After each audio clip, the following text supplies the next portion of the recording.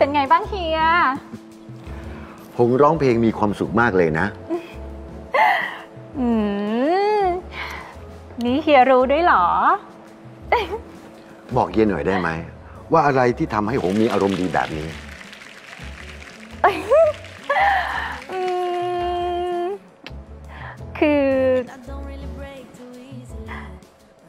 เฮียวิทยาขออ้วแต่งงาน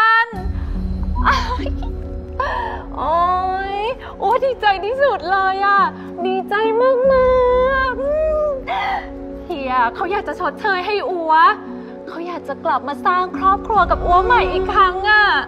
โอ้ยโอ้ยแล้วหงว่าไงโอ้ยเฮีย นี่มันเป็นสิ่งที่เกินความฝันของอ้วนเลยนะ มันเป็นสิ่งที่อ้วนรอคอยมานานแสนนาน โอ้ยเฮียหวงเฮียต้องไปร่วมงานแต่งงานของอ้วนนะ นะนะเฮียนะ ไปนะหงไม่แต่งงานกับเขาได้ไหม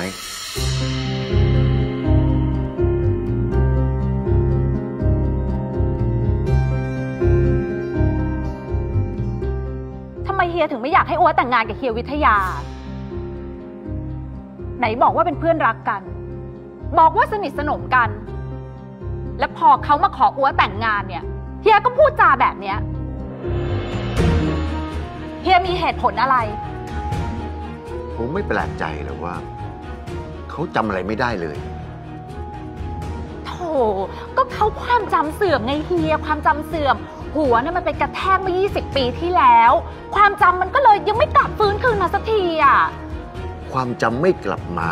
หรือว่าเขาไม่ใช่คนเดิม ซีซัวตานะเฮีย หงอาจจะมองว่าเฮียอิจฉา แต่เฮียอยากทำหน้าที่เพื่อนที่หวังดี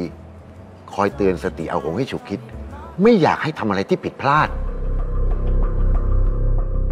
ถ้าเฮียจะมาพูดแบบนี้ เฮียไม่ต้องมาเตือนดีกว่าอัวดูแลตัวเองได้ เอาหง ทีแรกเนี่ยอัวก็กะว่าจะเชิญเฮียมาร่วมงานแต่งงานด้วย